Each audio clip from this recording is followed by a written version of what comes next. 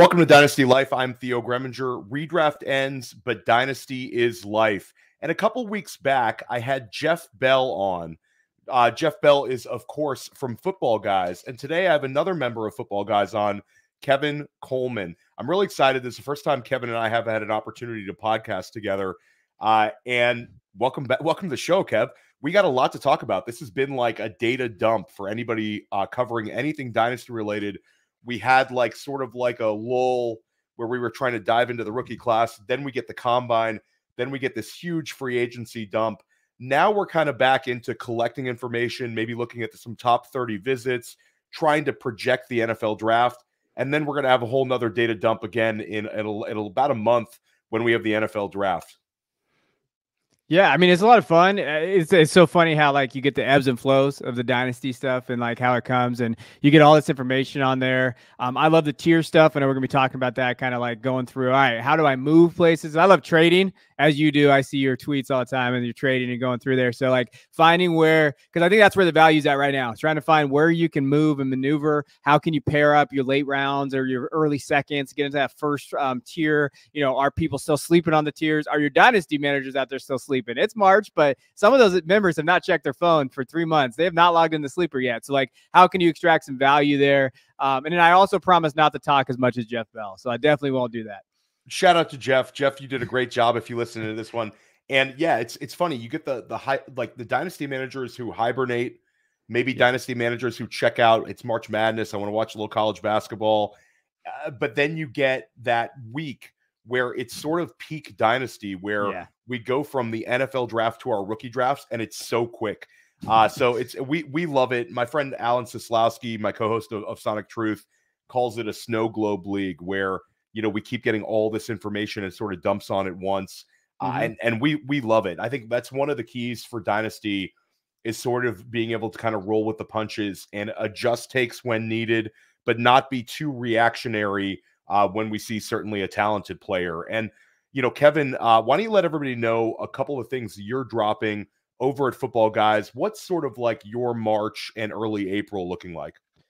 Yeah, you know, really just heavy diving into the rookie stuff. We do the rookie guide over at Football Guys, me, Jeff Bell, and Christian Williams. Um, so we just dropped our version 2.0. We're working on 3.0 now. After the draft, we just drop like every every every relevant player you know and where they're at and, and what we expect from them in our in our drafts, where you should draft them. So that's something we're working on. We do the Dynasty Football Show as well, um, and that's weekly, and we just kind of talk about different players. Right now, we're doing deep dive, so we, we're just going through every single position now of the rookie class class and kind of giving values and narratives and like, oh my gosh, is JJ McCarthy really going to go number two overall? And we kind of just dive into all of that. Um, and, and it's just been a lot of fun in terms of I love that part of the rookie talk and doing stuff like this and stuff. The writing part is where I, it hurts me because I, I, do. I also do dynasty pieces. I just dropped one today about the riskiest quarterbacks um, out there in dynasty and kind of what you should be doing with them over at Football Guys.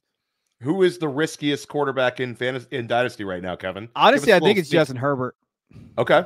Is it because of the stylistic changes in Los Angeles, or sort of could he be at his dynasty peak with a couple of these young guys really kind of stepping up ahead of him in the dynasty values? Yeah, you know, I went through five um, of the dynasty QBs where I was like kind of worried, but just when I got to Herbert, you know, I'm a Michigan fan, so I know Harbaugh. I know all about his stylistic system. I know him and Roman. Like, you know, when looking at passing attempts, when they had Kaepernick and Alex Smith were down probably 31st, 32nd. Um, I'm worried about that. So I'm really worried about kind of what that stylistic looks like, and just like you know the weapons overall, right? They do, Josh Palmer is the best weapon. I like Josh Palmer. I'm a I'm a little closet Josh Palmer stand. Like I like. I think he has value. I thought he had value last year, but like, what are they going to do with that fifth pick? I think that's going to tell the story of Justin Herbert. Will they go get a wide receiver like Malik Nabers and Marvin Harrison Jr., or are they going to go offensive line or trade back and maybe go after Odunze and one of those guys? Um, but I just look at it like tier based. You know, you're sitting there with like you know, Justin Herbert at QB 7, 8 in some ranges. Then you have Kyler Murray at like 11, 12 man, if I could tear down to Kyler, get that upside, maybe they add Marvin Harrison Jr. and get another piece. Like to me, I'm like, man, Justin Herbert scares me a little bit. He's he, he's just one of those guys that I think he can go a lot of different ways, a lot of variables, and I think his floor got a little lower, and that concerns me a little bit. Just keep calm and add Gus Edwards to your dynasty rosters, everyone. That's going to be this year's ugly Jamaal Williams, Raheem Mostert, veteran who falls in the end zone a bunch of times in a out of out of not really out of nowhere but he goes Harbaugh to Harbaugh. landed pretty well. I think like you look at that Chargers roster, not a whole lot of guys I want on my dynasty roster right now. Completely agree with you on Herbert. We actually talked about that on the Sonic Truth Dynasty pod, uh, podcast. You can check that out uh, from earlier this week. Um, but Herbert versus like Caleb Williams, eh, I'm Caleb all day right yeah. now. Um, and we're talking about a, a, guy, Justin Herbert, who's relatively young and he's given us a QB2 finish. It just goes to show you how situations can change and kind of influence fantasy production despite the immense talent that Justin Herbert's displayed. But it's your first time in the chair here, Kevin. And despite being in technically the spring now, uh, we got to go back with a little bit of these evergreen questions that I ask pretty much every guest the first time they get to Dynasty Life. You guys put a ton of work into your Dynasty content over at Football Guys, extensive work, but we don't always get things correct. A lot of times we can have misses. And in redraft, a miss really only hurts you for one season.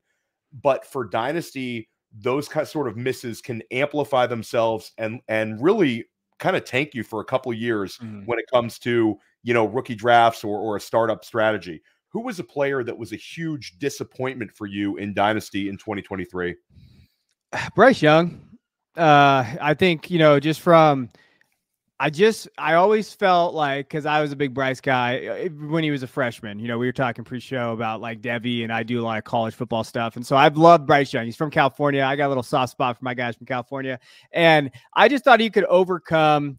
You know, the lack of weapons. I thought Chark and I thought, hey, Thielen's there, Sanders, all these guys, and like he would be cerebral enough. And I and and it's it's so funny though because I kicked myself as a dynasty manager and even an analyst. I hated Frank Reich with the Colts. And then I bought into it with the pan, and I was like, and I and I was thinking this afterwards. I was like, what was I doing? Like, if I hated him with the Colts, why did I buy into it? It's so funny how that works. Sometimes you just you trick yourself and like, no, it's gonna be better here. Um, and I just thought that he was gonna be over, to, over able to overcome that, you know. And I think in Superflex Dynasty rookie drafts, I mean, he's going 101, 102. I definitely picked Bryce over CJ Stroud in the league. I know that happened, and I'm kicking. You know, it's one of those things where you kick yourself a little bit. Um, but completing less than 60% of his passes, only 11 touchdowns, 10 interceptions. I mean, he looked bad. I mean, he averaged only 10 and a half fantasy points per game. Like, that is just absolutely, you know, terrible. I do think there's upside there because I'm always an optimist with Bryce Young. So I do love what his position is. Dave Canales and those guys coming there. But I mean, he's a disappointment through and through because of what you missed if you took him. Even Richardson, even like, you know, Stroud, these guys that are going Bijan, these other guys that kind of there. Like Young, I think would go in the back end of the first round now. And I think that's a huge value miss. Yeah, I think I think that you nailed it. And certainly there's a chance for a rebound, but at the end of the day, it's going to be virtually impossible for him, short of an injury, to catch Anthony Richardson and CJ Stroud in Dynasty. And those other positional players all really, really hit, sort of amplified his fail- failures this season. Uh, how about a, a, a positive surprise? A player who maybe you were bullish on him, but really exceeded expectations this year. And we're not allowing Puka Nacua as this response from anyone, Kevin, because it's too easy. That's too easy. I know. Uh, you know, for me, when I, you know, I was thinking about this question, it's funny. I actually had to get this guy added by Sleeper last year during my rookie mocks because he wasn't in the database yet, and like because I wanted to draft him, and it was Sam LaPorta um, I was like, I actually DM Sleeper. I was like, hey, can you add this guy? I was like, I do these rookie drafts. I like to draft him there. He was going the fourth round uh, before the draft. He was going in the fourth round of rookie drafts. And when you look at what he did, I mean, 86 passes, 889 yards, 10 touchdowns. I mean, overall tight end one, dynasty tight end one now for some. Um, I just think for me, I didn't expect that right away, right? Like, I and it maybe it was a perfect, you know, catechism of where he landed. Real, Will Jameson Williams got suspended those first, you know, games of the season because of the the gambling, and he just kind of came into a great situation with a great offensive coordinator. Um, but man, I mean, when you look at him and what he was able to put out there, he's only 22. Like that to me was the biggest surprise because it kind of reshaped the tight end market, and it's reshaped the tight end market a little bit for this year, like because everybody just assumed Brock Bowers was coming in. Oh, Brock Bowers, we've been hearing about about him for years. He's going to be a top four guy. And now you have all these great young tight ends like LaPorta who popped off. And now it's like, oh, maybe Brock Bowers is kind of a value now in rookie drafts. Maybe like we can actually get him a little later. Um, so I think the LaPorta, you know, breakout was a revelation for the tight end position. I think for me, that's like a surprise that he popped off so hard. And it's hard because Iowa is a terrible offense, like in, in college. So it's hard to like expect this from Iowa tight ends. Um, but they do produce them, but it's like, where's that production come from? And he kind of broke that mold, that first year tight end, like cursed, and he broke that right through the door. I think you know it's eh, a couple things you mentioned there where you talk about the tight end revolution. That's certainly the youth at the position where we're seeing a changing of the guards of the sort of the the the Laportas, the McBrides, the Kincaids, the Bowers in the rankings over the the Kelces, the the Kittles that have sort of been there for a while and are now north of 30. But one other thing I think that Laporta did, and I'm I wonder your opinion on this, is there were some people last year who I really respect in the dynasty minds that talked about Laporta, a red flag for him being his size and certainly his height and his weight, where we're so used to seeing over the years the Rob Gronkowski's, the Jimmy Grahams, the truly, mm-hmm. you know, beast mode type tight ends that are like defensive ends or basketball players. And then now we sort of have this archetype with the Laportas, the McBrides, the Kincaids, Bowers, and we'll throw Evan Engram in there. Those 6'3, 6'4, 240 pound tight ends.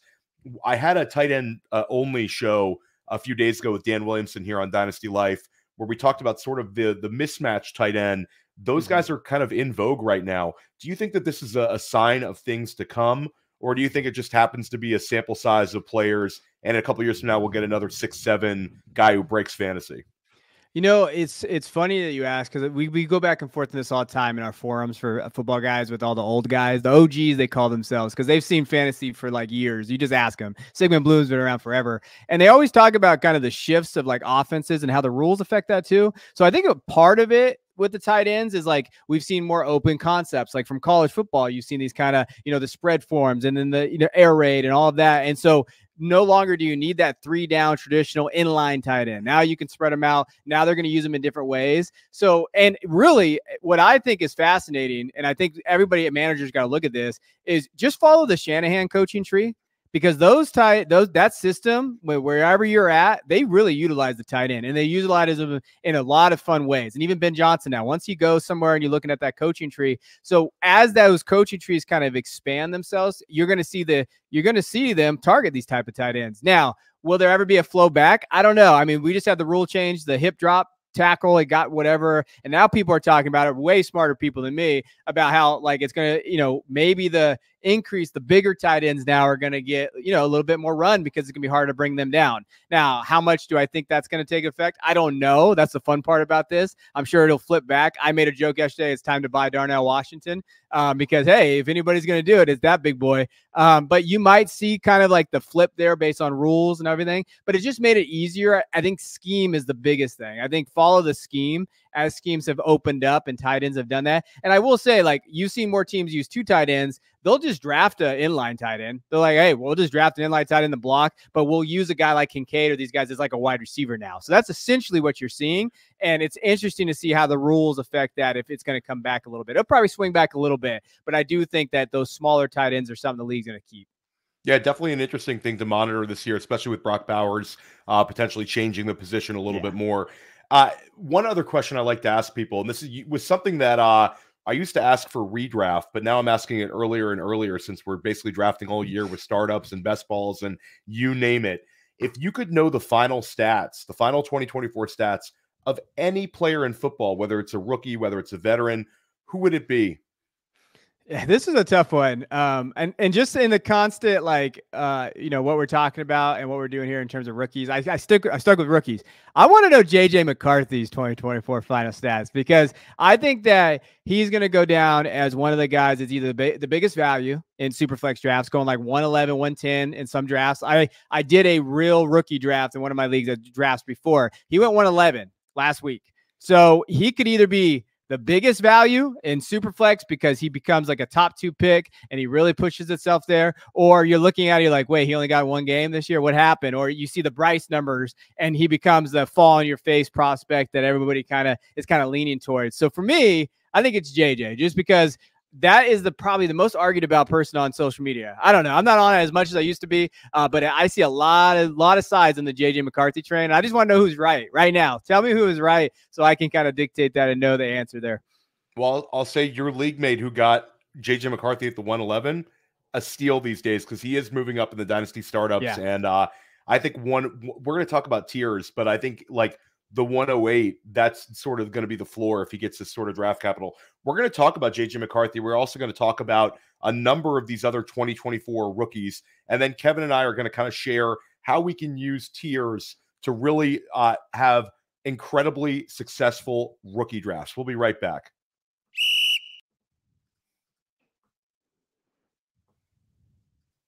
Hey, you know, people always ask me, what's the World Series of Fantasy? What's the Super Bowl of Fantasy? And it's easy it's the FFPC. Their signature Players Championship has a $6 million prize pool, and their best ball leagues start in February and they're the answer to so many questions. Hey, what's the best place to get a Dynasty Orphan? Well, you can adopt a Dynasty Orphan at the FFPC right now. There's more orphans at the FFPC than anywhere else on the internet. That's why we partner with them. So if you want to play fantasy football for low, medium, high stakes, you love Dynasty, you love best ball, you love seasonal leagues, all types of fantasy footballers need to go to the FFPC. And remember, use promo code Underworld. Promo code Underworld gets you $25 off your first team. Promo code Underworld, $25 off your first team, no matter what the format is, at the FFPC. Go get it. Welcome back to Dynasty Life. I'm Theo Gremminger joined by Kevin Coleman of Football Guys. And let's stick with JJ McCarthy. This is a player that at first we had the resistance where Bo Nix, Michael Penix, JJ McCarthy. You mentioned uh, Michigan. Michigan wins the national title. JJ McCarthy declares for the draft. Jim Harbaugh calls him the greatest Michigan quarterback of all time. And we're like, yo, Jim, why didn't you pass a little more if you had the greatest quarterback of all time? But that being said, the hive starts buzzing a little bit. Then we see Michael Penix and Bo Nix both have sort of ordinary Senior Bowls, didn't really grab the bull by the horns. Some Spencer Rattler talk. So JJ McCarthy solidifies himself in the top four.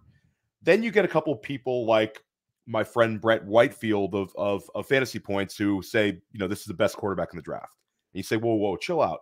Then as that we get through the process, you're getting more and more people coming and saying, you know, how JJ McCarthy, this is my guy. There's a lot of people that we respect that are kind of on that train. Kevin, for me, I I've become more and more open to JJ. I think JJ is my 108 in super flex right now, mm-hmm. and he's my quarterback four. But I still want to have some JJ McCarthy on my fantasy teams. Do you start believing the JJ McCarthy is really in consideration for Washington at two overall, or do you tend to think that this is a little bit of a smokescreen? Uh, so you know, having watched JJ as a Michigan fan um, for a long time, uh, I think that when you're looking, if you're the Commanders, you're sitting there at 102. Like, you know, I was talking about this. You know, I, I think Drake Maye has to be the pick. You know, I, I think for me, when you look at that, because I think that system really placates him better. So, like when I'm looking at Kingsbury's system and what he's trying to do, um, you know, Drake Maye had 90% of his snaps are in shotgun. That's what Kingsbury's going to do there. Um, I like the weapons around them. I think he can. Now, I think Drake Maye's versatile. I think he can go in any system. So I'm not worried about that. Whereas, like, when you're thinking of like Jayden and JJ, like Jayden Daniels and JJ, they need like they need a very tailor-made system for them, right? And it's going to have to really highlight their strengths. Where JJ's strength in is for me when I'm watching it and going through the film, it has to be some type of like McVay tree scheme in terms of like that West Coast, kind of like a Jared Goff, like build around him, limit his inconsistencies. Because I do think his weakness is like he's a very one-speed thrower. He's just gunning it, right? They're going to have to develop that. You know, he is young, but he's just gonna he's gunning it no matter where he goes. He doesn't have a lot of touch on his throws, um, and I do think that his deep balls he struggles with. So like in a Kingsbury offense. I don't know how much I would love him to be in that kind of offense because I think that they want to push the ball down deep, and I don't think McCarthy has that. I think he at times he does. I just think he's inconsistent at times. I think whoever drafts him, which I think my ideal landing spot is the Vikings, I think, in my opinion, for him. And everybody's going to say that. So it's not some hot take or, you know, eh, something enlightening here on the pod. Uh, but I just feel like there's some, uh, it, it, has to go with Bucky Brooks and Danny Jeremiah for moving the sticks. Talk about this all the time. Whoever drafts a guy like JJ needs to have a plan for them. Like, not, oh, he fell, let's get him. Oh, he's on our board. No, what is your plan? And really, they should be developing that plan right now. Hey, if JJ is here, how are we going to make him be- the most successful quarterback? And I think that sitting would help him, right? So, like for me, when I'm looking at him, I would love for him to sit for a little while, not as like the Jordan Love plan, but like the one year plan or like the half a year plan, just something to where he kind of develops in there. Um, I think Drake is more ready to go. Like, hey, we can throw him out there. He can kind of take his lumps there. JJ needs time. And I think that's one of those things. But I see the narratives, I see the QB1 stuff. And guys like that you mentioned, I respect a ton. I, I think that they watch film and they and they see it. Um, and I think JJ has that range of outcomes. But I also think JJ is he has a heck of a ceiling, he has a heck of a floor. And I think that scares me the most when you're looking at him as a prospect. I, I like I like what you, you referenced with the the floor and the ceiling. I also think that I agree with you that the ideal situation for JJ McCarthy would be him, you know, sitting behind like Gardner Minshew and and mm-hmm. you know entering entering in in like week 10. The problem is when you look at like the Lamar Jacksons and the Jalen Hurts and the Jordan Loves who were able to sit, whether it's for most of a season or for maybe basically their whole rookie season, those guys were drafted at the end of the first round or yeah. later. With when it comes to JJ McCarthy, the higher he's selected, the more pressure there's going to be to get him onto the the field. So it's sort of like a a double-edged sword where we want to mm-hmm. see him drafted really high. I love your Minnesota landing spot, but he's certainly an interesting one. And you know, you have a, a real Devy background, uh, Kev, and and a lot of people haven't really dove into the 2025 class. But do you think that JJ McCarthy, if he were to have returned to Michigan, he would be hands down the 101 quarterback in 2025 when you look at him in context with like Beck and Ewers and Sanders and a couple of the other guys. And I would go ahead and say the 2025 class is not nearly what we're seeing here in 2024. Would you agree with those statements? He would undoubtedly be the one. And I don't think it's close. I think Beck is there, but I think that um the 25 class is has so many question marks. I mean, looking at it, this value wise, I don't think a QB gets drafted if you were just do like a 25 straight up to like 105, 106, to be honest with you. So like JJ would be the one coming in there. Um, and there is a huge tier break. So that's the other thing too. If you need a quarterback, this is the year. You got to go grab these quarterbacks. Like if you if you're thinking, oh, Nabers is sitting there at 103, I'll just wait until the second round and get Michael Pratt or Michael Penix or or Bo Nix. That's I think wrong in my opinion. Like you, if you need a quarterback based on the 25 class that's coming, JJ JJ should be guy. Like you mentioned at 108, I'll smash that all day for JJ McCarthy because I think the value is there. Hey, I'm okay with that 108 um, and being there. And that's the other thing too with these the landing spots you know, some of these teams didn't earn a first, you know, like a top five pick. The Vikings and Bears, they didn't earn those top five picks. They found themselves maybe possibly with the Vikings getting into the top five. Um, so those are the those are the landing spots that reach out to me like, oh yeah, I want them to go there. Like New England, that's gross, right? Like they earned that for a reason. They have a lack of talent. So a guy like JJ going there, that that scares me a little bit more because he needs that inst- he needs that institution to be really built around him they don't have that ability yet because they just don't have the talent. So that's that's really where I get with these quarterbacks. Um, but yeah, JJ QB one next year. So that's what makes me lean. Teams know this; they're not dumb. So like makes me lean that he is going to get top ten capital because they look at next year like, no, we got to go get him now. Interesting that you you you you know talked about being down on that 2025 class. If for simply for dynasty managers, um, do you think that there is an argument that you should take some more shots on the Bo Nixes, the Michael Penixes, and maybe the Spencer Rattlers, just because what's coming up around the bend is not necessarily going to be that appealing. Uh, you know, for for for dynasty managers really looking to up to at least solidify depth uh, with some potential options at the QB spot.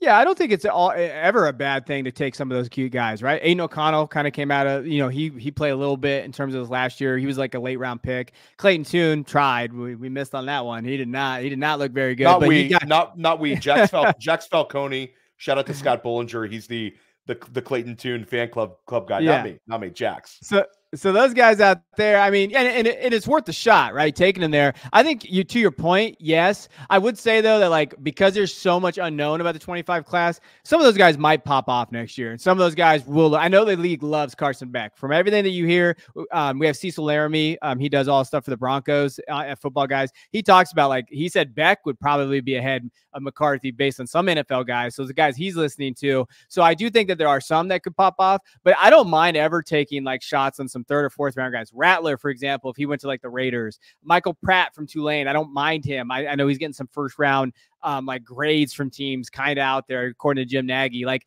grabbing those guys rather than some of those wide receivers. Everybody thinks they're going to get the next Puka with their fourth round pick. It's probably not happening. Let's just be real. Like if you can grab those quarterbacks that get some type of value, especially rebuilding teams, go grab some of those quarterbacks that you can ship off for some assets later as you're rebuilding, as like teams lose their quarterbacks, like Joe Burrow and all these guys this last year. I think that's a really good strategy to implement in your leagues, especially in your rookie drafts.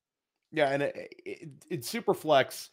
The the equity of a starting quarterback is is there. I mean, it's a yeah. there's just so many of them.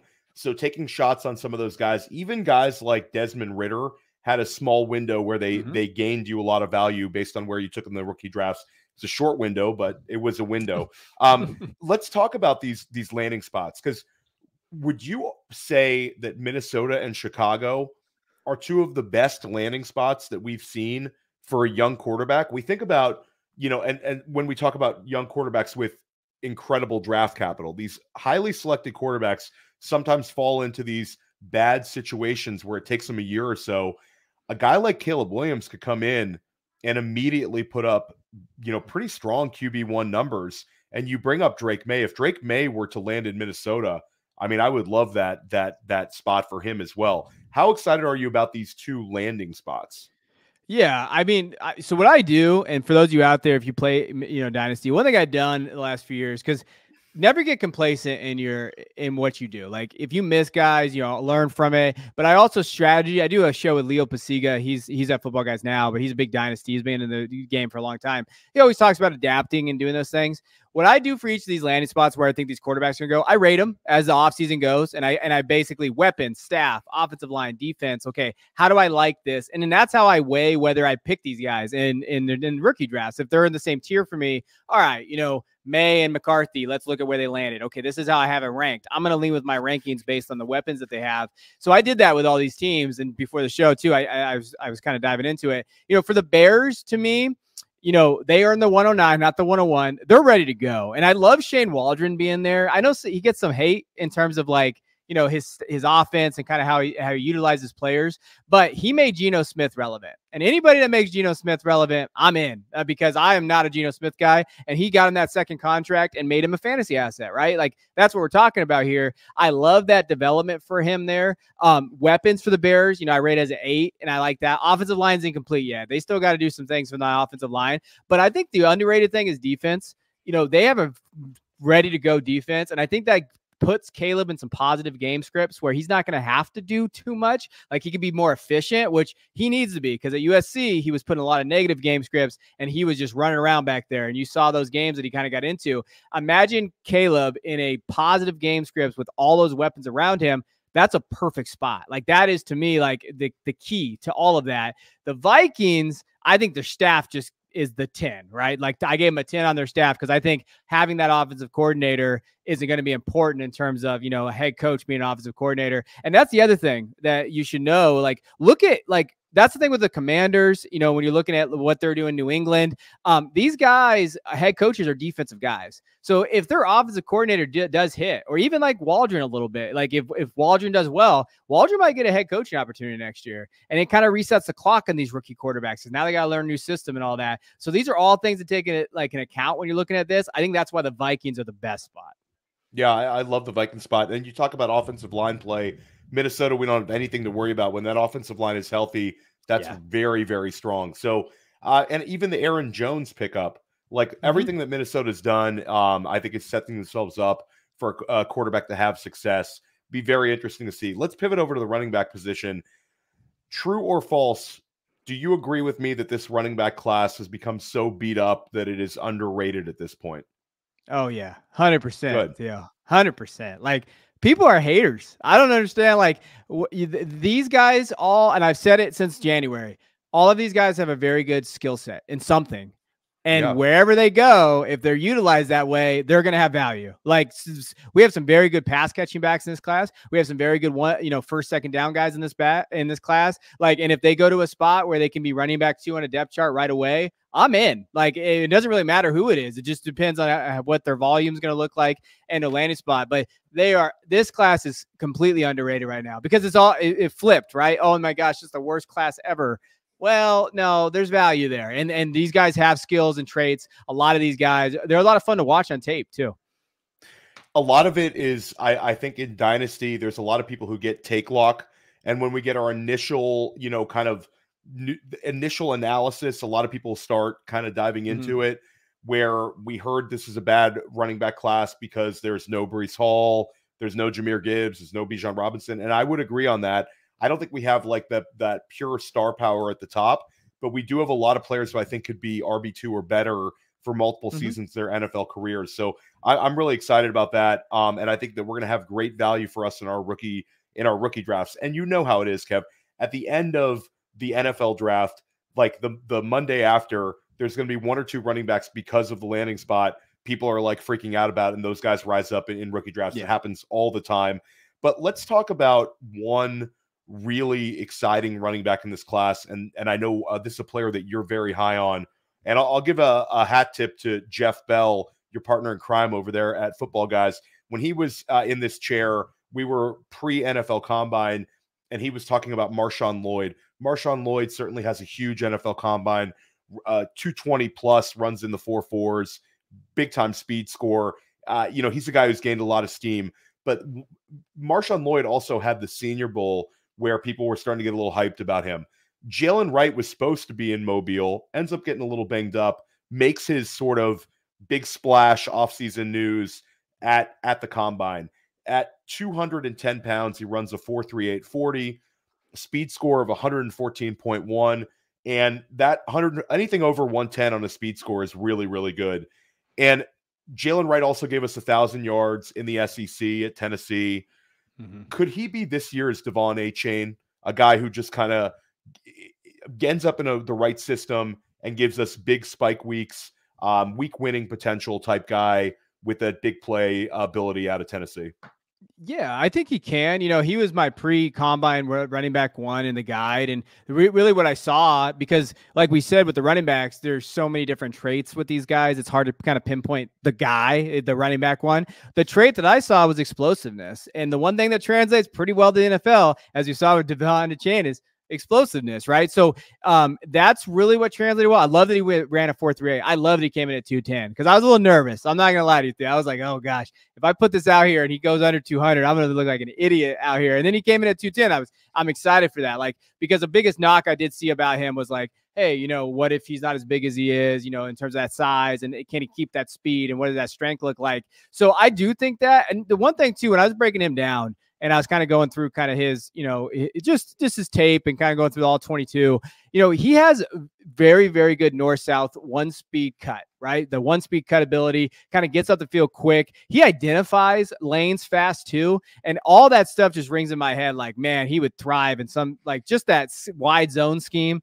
If a team drafts him in a wide zone scheme and something very horizontal and they can just get up the field, man, I'm all in on this kid. And I think that's what you got to look for. So, like we mentioned with the running backs, like Marshawn Lloyd, again, yeah, he's a top three guy, and Trey Benson, these guys, you know, look at where they get drafted. And like a guy like Jaylen Wright in a Miami system, oh my gosh, that'd be awesome. They already had De'Von Achane, so it's probably not going to be there. But if they can go somewhere, I had the Ravens pre uh, Derrick Henry, and it hurt my feelings that Derrick Henry went there because I was like, man, I would love him on the Ravens. Um, but I think I just feel like one of these, you know, Jaylen can find a, location, a landing spot that just allows him to get 15 carries. That's all he really needs because I think his explosiveness has him has that ability to kind of just break games and where you're looking like, oh my gosh, this kid is, you know, he's 10 carries, 100 yards, and a touchdown today. And I think he's actually a pretty good pass catcher. He didn't have to do that much in Tennessee, but he has that ability. He's a three down guy. I mean, he was on Feldman's freak list too. So he yes. people known of him, but just he didn't have that elite production that you'd want to see. Yeah, I, I, love that you bring up Feldman's freaks freaks list. I'm always bringing that up. Um, if yeah. anybody doesn't doesn't follow that, it's Bruce Feldman during the summer drops a sort of the notable uh, athletic kind of freaks in college in college football, and there's been a lot of future NFL stars. Marvin Harrison Jr. I think he had top top two or three uh, this summer. So you know the the guy does pretty well with that. When we talk about the running back spot, I think we've got maybe about seven guys now that that you know, put a handful of 7 mm-hmm. Some people drop it down to five. Some people might increase it to eight or nine that we're kind of excited about in this class and that I think have opportunities to sneak into day two. When we look at these players, what are the landing spots? Maybe list one or two that you would be really excited to see a rookie land in that we could start say, okay, there's a pathway. And also, I like the scheme, I like the fit. Well, I gotta go Dallas, right? Like yeah, I gotta that's okay. That's the that's the best one. like I think you know, as a Dallas guy, and just looking at like they're gonna draft someone in the second, third round. I think I, I really it's hard for me not to. I follow all the Dallas beat writers and all of that. Um, to me, now here's the this is where you have to be very careful though, because I do think that if they draft someone that doesn't necessarily fit their scheme, like you mentioned, this dude's gonna bump up into the end of the first round, and you have to really determine all right, is this Ke'Shawn Vaughn ish? Like, remember that from a few years ago where it's like, oh, he went there. Hey, he's going to go in the back end of the first, or oh, I like his talent. I love it. Right. So it's really that really where it comes down to for scheme dependent there. And Arizona to me too. I think Arizona's sneaky. I think if Arizona, I mean, James Conner's there, you have those areas. Arizona's sneaky later, like a day two guy or like late, early day three. I could get on board with an Arizona landing spot. I love that you said Arizona. Arizona's been one that I've been ta- talking about for a while because of the the the openness of the RB2 position yeah. and the age of James Conner and also the fact that James Conner had a thousand yards uh, rushing in that offense last year, plus the opportunity to play next to Kyler Murray. That's mm-hmm. I love that answer. I'm going to throw out. I think Cleveland's interesting. Oh, the D'Onta Foreman signing, the fact that Jerome Ford, I think, is a little bit more of a running back by committee type. Uh, it's just Nick Chubb. Can he come back? And when does he come back? I think that that and with his age, I think that's a that's an interesting pathway. Vegas, mm-hmm. I think, is interesting based on the fact that it's Zamir White and Alexander Mattison. I'm bullish on Zamir White this year, but not bullish on Zamir White if Jaylen Wright ends up there on, on day two. Um, and uh, th- there's a couple of interesting uh, places. How about Los Angeles? Because this is one where this has been like a Blake Corum spot, which is, you know, it might not happen, but you could see Harbaugh taking Roman Wilson or Blake Corum if they're there to him at a, at a decent value. But with the presence of Gus Edwards, do you think that this is sort of a whoa, this spot is not quite as good as some people would think? Or would you be really excited about a running back being drafted to Los Angeles still, maybe in the same light as pre Gus Edwards signing? I think, you know, if Gus was a little younger, I'd be like a little more more nervous and not the injury history, right? Like if if he was kind of like one of those things where, um, like man, I could see him really get utilized there. Harbaugh and Roman have a history of doing um split backfields though. So like, and even Harbaugh at Michigan, he definitely did. I know Corum ran this last year, but before that, Corum split work three years ago um, with Hassan Haskins, and then Donovan Edwards and him split work last year. So I do think that I like the spot for me, like from a Corum would be interesting, but I think him and Gus are kind of I don't want to say they're the same, but they, they do have the same tendencies as a running back and stuff. To me, I want to see if if they can go grab maybe a pass catching back or something like that. I'd probably be a little bit more interested there, especially with the lack of receiving weapons on that offense, because you could, you know, you'd have to formulate that he's probably gonna get some targets there, and maybe in PPR he'd have a little bit more value there. Um, I like the I like the spot. I'm less excited with Edwards there, but that more that could be like a more next year play, like what we thought with Kendre Miller and Tyjae Spears, and doesn't always work out. Charbonnet, like those type of guys. Um, but I do think that there's going to be volume there, and if there's volume there, if you're running back too, I'm all aboard because you know guys are going to get injured. Follow the volume, if, especially in that offense. You that would excite me more, and if I get those kind of guys in the second round, I'm all aboard in terms of value we've had 10 straight years of a rookie finishing as I believe RB20 or better. So, you know, one of these guys is going to emerge and a year from now we're going to say why didn't I take that guy in my rookie draft? Uh, I think having second round picks, having those early third rounders this year is really going to pay off for you, especially mm-hmm. if you're running back needy. Uh, let's pivot over to wide receiver Xavier Worthy. This is another player that you're very bullish on. Uh, this is a guy that I'm seeing some ridiculous draft projections, Kev, where you're seeing like oh, Xavier Worthy goes like pick 40 something. I'm like, not going to happen. Xavier Worthy's a first round pick. I think he was a borderline first round pick before that combine. I think he's a lock first round pick right now. Uh, I think maybe that there's a little bit of um, people are kind of overrating uh, just him as a pure speed guy. Mm-hmm. Where mm-hmm. you know you hear the people with the ridiculous John Rosses, the Henry Ruggs type comps. This is not that. Xavier Worthy broke out very early at Texas, set freshman records at Texas. Through three years, he was very productive. I think that there are certain teams that are going to look at him as a Jaylen Waddle type. Where do you see him fitting in um, for most NFL teams? Where do you see him end up being drafted, draft capital wise? Kind of share your thoughts and enthusiasm about Xavier Worthy. Yeah, I mean, I love Xavier, and it was so funny, man. The combine makes me laugh so much. Remember when he came in at 165, and everybody on social media was like, "Oh my gosh, oh, yeah. he better run fast." Then yeah. he runs fast, and everybody's like, "Oh, he ran too fast." I'm like, "What are you talking about? Like, you can't just you can't move the goalposts all the time for that." Like, he ran a you know four two one. Um, you hit the nail on the head though when you talked about how he's not just a speed guy, no, he's not. I think the thing with Xavier Worthy that people keep missing is they think he's just going to be a deep threat and they think that he's just going to play that he can just be a slot guy because he's 5'11. He can play every position on the field. He's scheme versatile. I think he can play on the outside because he can win on the outside. I think he can kind of go inside if he needs to, and he has the separation ability and all that, but he can do it all. And I think that's the thing that makes him a lot of fun in that wide receiver four to six range, right? Because these other guys around that range, like Ladd McConkey, Troy Franklin, who I like, I like Troy Franklin, Brian Thomas in those ranges. I think that Xavier is the most versatile of them all. I think they he can be on the field in different ways and coaches can utilize him. So if that if that's the case and they're creative and coaches are getting more creative, I'm all aboard. I think that there's a dark horse team for Xavier too.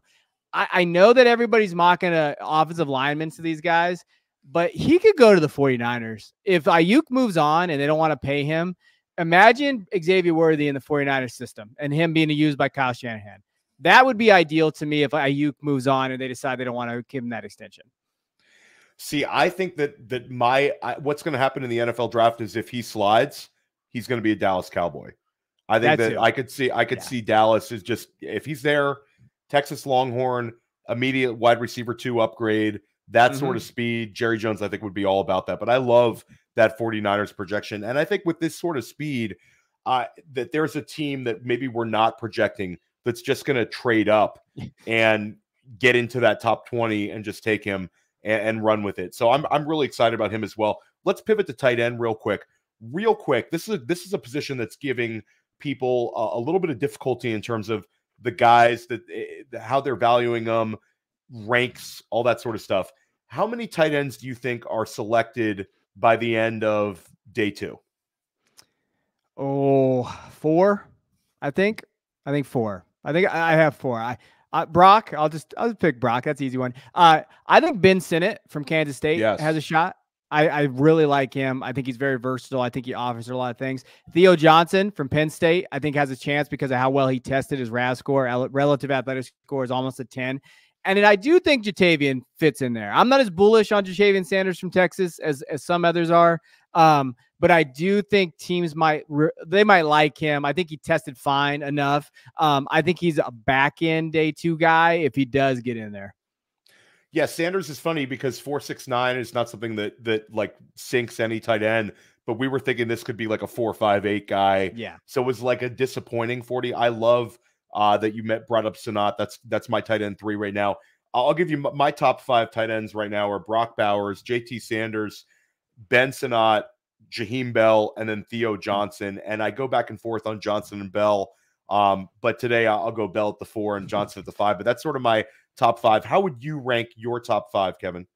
Yeah, I have Brock and Sinnott at one and two. I have Theo at three, actually. Uh Ja'Tavion at four. And then there's a there's a kid out of TCU I like, Jared Wiley. Yeah. And I don't know what's gonna that's happen. A Jeff, that's a Jeff that's a Jeff Bell guy too. I remember he okay. you know, he was on on Wiley, but yeah, Wiley four low four six forty. Yeah. At that size. That's exciting. Share your thoughts on Wiley. Yeah, you know, I just think, you know, you love his testing, right? 9.53 RAS. And that's really relative athletic score for those you don't know. Really tight ends, that's what it matters the most for. Like when you're looking at this, this is why I remember Jalen Wydermyer, he just disappeared after he got like a 2.2 or whatever it was. Um, he did terrible there. Wiley, to me, you know, TCU heavy pass offense. We know that. Um, really good hands. Like he has some of the best hands of this class, and he has athleticism to go with that. So if he's versatile, like we talked about earlier in the show, able to be split out wide, not necessarily that just that inline guy. I think he, he's kind of best of both worlds because he has the hands, he has the versatility, but he's also 6'6, 250. So he can be in line. So he's going to get on the field. So how much opportunity is he going to get? I think that's the key. If he can get on the field and showcase some of those skills, I'm all aboard there. I don't think he has like ton of YAC. I don't know necessarily like, you know, separation with man, but I do think he can be that possession guy that scores touchdowns because of his hands and he can be that go to guy. So that's why he kind of fit in at five for me. So it's going to be interesting to see where he kind of lands. No, I love it. It's definitely a, a, a position where the tight ends exceeded expectation at the combine. We had a bunch of these really athletic testing numbers. And I, I'm glad you brought up like the RAS score and everything. We that's the one position where you really can't be unathletic.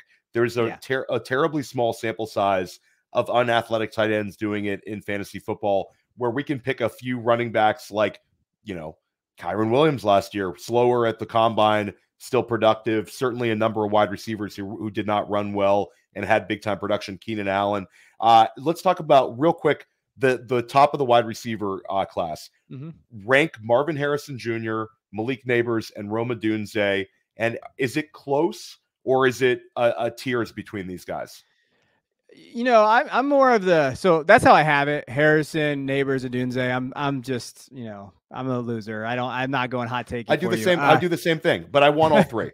Yeah, so that's how I look at it. As far as where I'm at with like Nabers and Odunze and how close they are, I think Nabers is closer to Marvin Harrison Jr. in that tier than than Odunze is. Um, I, am pretty solid with Odunze being wide receiver three, which means he can be a fantasy, you know, wide receiver one at some point. I do think that he has value there. Nabers is just different, and his athleticism and what he did last year, um, I absolutely love what he can do. I think he again he's versatile in terms of that. They're two different guys, Marvin Harrison Jr. and um, Nabers. Like they're two different profiles. So um, the thing that I think sets apart Marvin Harrison Jr. that people need to realize is his his footwork. Like he is he's so refined off the line and like he got so much better as a freshman to a sophomore to a junior. That's what kind of makes harrison to me a tier above because he's going to be able to just earn targets separation um, high level body control some of those catches he made and as a michigan fan watching him at ohio state i hated him. I hated it. But some of those catches he made on the sideline the one the, the toe drags all of that to me, Nabers is very close to like that Ja'Marr Chase physicality, really top end guy, creative after the catch, can do a lot of those things. Um, and he instantly screams to me wide receiver one on a team.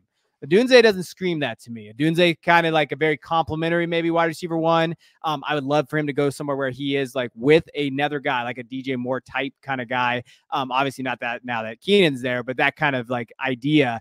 Whereas Nabers and Marvin, I think, can just be wide receiver ones. New York Jets next to Garrett Wilson, that gets you excited yeah. about Odunze. Yeah, that would be good. I think anything where I think Odunze would really benefit from just having a lot of one on ones and not double covered because I think I think he could struggle with that kind of separation at that next level. So if if he's getting double covered or defense is keying on him, I think he's going to struggle at first. I think it's going to take him some time there. Where I think Nabers can fight through those doubles. He's been doubled all the time. Marvin Harrison Jr. too. The thing that people don't understand about Washington, that scheme that he played in Odunze was very, very wide receiver friendly. A lot of you know zone concepts. A lot of people running cover two anyway now. But I think that with Jalen McMillan and Ja'Lynn Polk being there, they couldn't do that against Odunze. A lot of one on ones, a lot of things going there. They were the three best wide receivers in college football last year on the same team. Like three best. I will I will shout that to the rooftops. That's why they made the championship game. That helped Odunze. Where I know my Nabers was playing with Brian Thomas Jr. I get it, but that's kind of my separation between the two there. No, I love it. And the title of the show is Rookie Tiers. So we've got to debut mm-hmm. our, or not debut, but we're going to unveil our top 15s in the context of tiers. And before we start with that, when we talk about rookie tiers, would you agree that single QB leagues, the elite tier is the top four? Yeah. Yeah. Top four for me.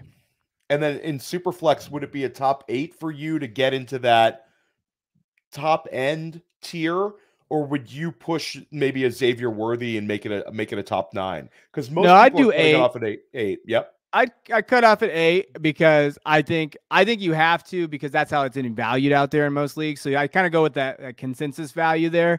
Um, however, I wouldn't mind getting to the nine range because I like Xavier. I like some of these other guys if the quarterback pushes some guys down. If McCarthy gets top ten, so I think that from my perspective, I wouldn't mind nine sitting there, but I do think eight there's a little bit of a tier break there just on value too. And do you think that it's it's beneficial to dynasty managers to try to make that move now before the NFL draft to trade into these tiers, even if they have to pay for it? Or do you think this is a hey, let's sit back, let's not go too crazy because the NFL draft could change some th- some things? I think that you know everything in context, especially this year. So when you're looking at what could happen to push those tiers anywhere, really it just comes down to JJ McCarthy. So I think that's really where that tier gets pushed at all. Um, or if Rome goes to like the Jets, maybe that pushes it a little bit. I, as far as context this year, if I can move up a little bit and get into that top seven or eight area, I would do that pre NFL draft because if I, I think that there's still value to be had. So if JJ gets the top 10 capital, that just makes your pick more valuable anyway because you're just sitting, you already paid for it, whatever. You you consistently, but what happens if Brock Bowers falls to 108 and some guy needs a tight end? Now you have a lot of different, you can use that now and kind of move and kind of move around. Whereas if you're sitting at 109, 110 and you waited and now Bowers is there, there's no way you're going to be able to get in the 108 mark because someone's going to love the idea of Brock Bowers, especially in tight end premium. So for me, I'm moving pre NFL draft into that range because I do think that the combination of those uh, those eight is only going to increase in value. I don't see a significant drop unless one of these guys goes to like a terrible landing spot, like one of the wide receivers, is the only way I could see like a drop in value in that top eight. Other than that, I think you're playing with house money. I love it. And I think that there's a lot of people kind of argue over the timing of trades, the timing to get rookie picks. Yeah. But at the end of the day, the most expensive rookie picks are always when you try to trade when somebody's OTC. When yeah. somebody's on the clock, they've basically got your feet to the fire and they're going to squeeze you for everything they can. So if you really want to get into these tiers now, I think that what looks like an overpay today is going to be a lot cheaper than during your rookie drafts and probably right after the NFL draft during the the, the wild week when guys like Trey Sermon all of a sudden steam up. Uh, so let's go ahead and, and do our rankings here. First off, before we do it, would you have a cutoff right now where you would take a blind 2025 first round pick? Would there be a pick in the first round, 112, 111, 110? Is there a pick that stands out for you where somebody says, Kev, you know, we'll give you a chance to re-roll this pick next year if you want out. I'll give you my 2025 first. 109 for me. 110, 109, okay. probably 109, uh, depending on how that kind of shaped up. I'm totally okay re-rolling because I do think at when you sit there, I love Xavier and I like Troy Franklin, those guys. But if there's a chance that pick could turn into Luther Burden or Tet McMillan or Evan Stewart next year, I'm totally, I'd rather go with that play. And plus, as I've always talked about, once you know those players, that the value goes down a little bit. 25 first is going to increase in value now, and you could still move it, right? Like you could still kind of pivot and go to go to those guys. So I like accumulate as much draft capital as I can. And if I'm a contender sitting in that back range of the first, and I'm like, yeah, I don't necessarily think any of these guys can get me over the top this year or can re- help me repeat. But if I can flip this 25 first for a guy like Mike Evans or one of these veteran guys in the middle of the year, that's kind of my strategy when I look at those picks too. Yeah, eh, I love that you said that because that 2025 first, the randomness of it, you know, it's it, you didn't really do anything to improve your roster, but when it comes down to it, it you're gonna it's gonna be easier for you to get that missing piece mid-season yeah. for those guys rather than like a, a Troy Franklin or a Ladd McConkey or maybe a running back that you're waiting to get that opportunity. Uh, it's hard to kind of take that that blind re-roll, but oftentimes that helps you in the long run. Uh, let's go ahead. You're you are the guest, so why don't you you share the top of your rankings? We're gonna we're gonna do top fifteen here, but if you okay. want to sneak another guy in, Kevin, it becomes a sixteen. you know, no no real rules here. Yeah, no. So I I went through it, and I'll, I'm gonna tell you guys where my tiers are. So I have Caleb and Marvin as my top tier. So tier one to me, Caleb and Marvin Harrison Jr. Just based on where they're at in dynasty mo- uh, rankings right now. Um, you know, Marvin top six ish. I'm not sure if you have your combined um, there, but you know he came in at six for me. I just redid them for football guys this week. Caleb dynasty eight. I feel like in that range, they're they're top tier. I have Malik in his own tier. So I have Malik at three in his own tier, kind of by himself, kind of on an island. Um, and then I know this is like in Superflex, it's blasphemous. But then I have the quarterback. So I have Maye, Daniels, McCarthy, because for me, I'm trying to figure out where their landing spot is and how I'm going to move them within that tier. Now, if Maye goes to, you know, the commanders for sure, he might bump up into that second tier too, but I think they're very dependent on where they go. Um, I have Bowers as well, just kind of sitting there at the back end of that of that group with those four, those three quarterbacks. Then I have a tier break, Odunze by himself. Uh, then I have another tier. So that just shows you that I'm not very confident in Dunze's kind of ability to be that wide receiver one, kind of like we mentioned. Um, but I do think he's above those other guys in that so, range. So just to stop, uh, so Kev has Odunze at eight, and he's got McCarthy at seven, just to show you the sort of value for getting into that tier. Mm-hmm. Um, and, and would you, you, when you say the uh the the the three quarterbacks in that tier, uh, you know, getting those guys, is there another quarterback that you anticipate gets into your first round after the NFL draft? I know it's difficult because we don't know the landing spot for a Nix or a Penix. Uh, no, I don't think I would put either one of those guys in there. I think Nix is Derek Carr light. Um, he could bounce around for a little bit and like you be he's gonna start at some point. So like, yeah, that's a good second round guy. Um, Michael Penix too. Like, I think those are all just second round guys. I don't see even if they get first round cap, like back end first round, I would it would take a lot for me to draft him in the back end of the first. So you've shared your top eight. I'm going to give you my top eight in okay. tiers. Caleb and Marvin Harrison Jr. I agree with you. That's the top tier. Can't miss Teflon Dynasty assets. Really, no reason to even discuss them. Then I actually have Malik Nabers and Jayden Daniels in a they're kind of their own little mini tier. And then my tier three uh, for players, I guess five, six, seven would be Brock Bowers, Rome Odunze, and Drake Maye. Kind mm-hmm. of you can flip the order based on your team needs, but I put Bowers in there I, I think he's just truly elite, truly special. Um, Odunze, I'm a little bit higher than you are on him. And then, of course, Drake Maye's Drake Maye. Fantastic value when you get him around the seven. And then I have JJ McCarthy in his own little tier of if I'm sitting at the eight spot and he's there, I have to take him because you know the the the the scarcity of the position and the chances of him to be a successful NFL quarterback one of the reasons I push him down is, like you said, it might be a waiting game. The other three quarterbacks, I think they start game one. McCarthy, I might have to wait on a little bit. I've got to balance that out with my dynasty rosters, but I think we're both on the same page with the top eight. Why don't you share your next tier of guys, Kev? Yeah, so then I have Xavier Worthy, Thomas, and Franklin. Those are the next three wide receivers I have in that range. Um, and then I have Trey Benson sitting there at the back end of the first. So I do think that Trey has a chance to get the best capital ab- among the running backs in that range. And I really think the Cowboys want, want Trey Benson. So like that's part of my thinking is if he goes to the Cowboys, I think he's going to have that back in. Um, and then that kind of wraps up in terms of the first round. Then I have a tier and I put Ladd McConkey in there. AD Mitchell, he takes a lot of plays off, but he's got talent. So like that's the true like you know you see what's on film and the things he does well. And then Jaylen Wright. So I put another running back in there. I put Jaylen there um, at that back end of the second. I do think some running backs are going to get propped up in that range. I'm not comfortable enough saying who they're going to be, um, but that's who I would put kind of in that range right now. Yeah, and for me, I have uh for my 9, 10, and 11, Worthy, Brian Thomas, and then Trey Benson. I, I sort of hit, okay. put him already there. So we're, we're pretty close there. Troy Franklin, I had uh, a little bit higher, you know, about a you know before the combine. I pushed him down a little bit, not because I I I don't like him, but because uh, there's all these other wide receivers that really helped themselves. That were already pretty close. So uh, Worthy, Thomas Benson, that little mini tier, 9, 10, 11. And then my next tier, I, I can't I can't trim it down now. There's yeah. a number of guys where I think it's pretty close. And I think there is a little bit of an argument that if I'm at the 112, 112 for me is a reroll. If somebody wants to give me their 2025 first, I'm taking it.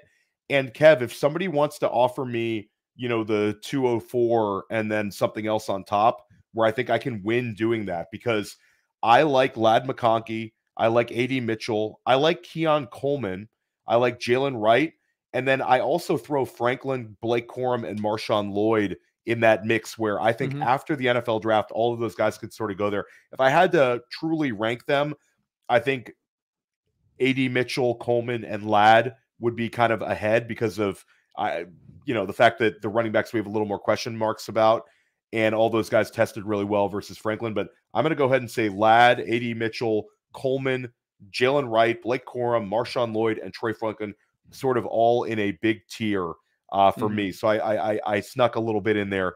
But uh, Kev, eh, this was so much fun. Uh, I love podcasting with you. I hope we can do it again at some point. Um, but tell everybody where they can find your work uh, and what you have coming up once again in the month of April. Yeah, you could uh, find most of my written work in my Dynasty podcast over at footballguys.com. Uh, um, have some pieces coming out. Uh, my day job, I'm an assistant principal, so I don't have a ton of time right now. But using the summer, I, I, I get a bunch of spotlights out. I get a bunch of articles out for Football Guys then. Um, and then we do do some stuff for the Devy Route. If you're into college fantasy, those type of things, um, we have a Patreon where I do um, combined Devy Dynasty rankings. We have a YouTube channel that I have not been able to post to for a while, uh, but Christian's been doing a good job of doing some Devy and some draft breakdowns uh, at the Devy Route YouTube. And share your Twitter handle as well, Kev. Yeah, at Du Bois underscore 22. Uh, it's a little Cowboys homage, uh, but to my family. But yeah, at Du Bois underscore 22. And they are ruining my life right now in the offseason. Cowboys always, always count on them to ruin my life. You got a Michigan national championship. I think you're you're you're doing all right on that. I'm end. okay. Yeah, yeah, you'll you'll be okay for a little while. Um, but this was awesome. Definitely highly recommend uh, check out Kevin's work. Check out my previous episode of Dynasty Life, uh, where, where with Dan Williamson and also with Ian Miller, where we broke down the tight end position and the quarterback position. I'm going to be bringing a few more of these Dynasty rankings shows. Look for those in April, and we're going to get you going. More and more guests like Kevin uh, that are going to help you get ready and dominate your rookie drafts. We'll see you soon.